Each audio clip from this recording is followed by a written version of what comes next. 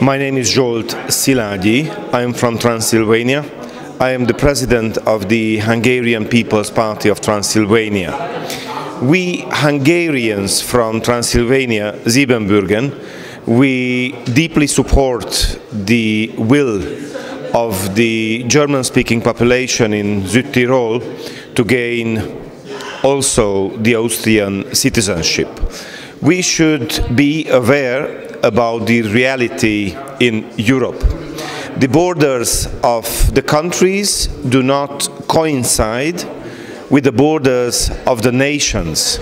It is natural that Hungarians living abroad Hungary want to keep relation with Hungary. It is natural that Romanians living abroad Romania want to belong somehow to their nation, to their country.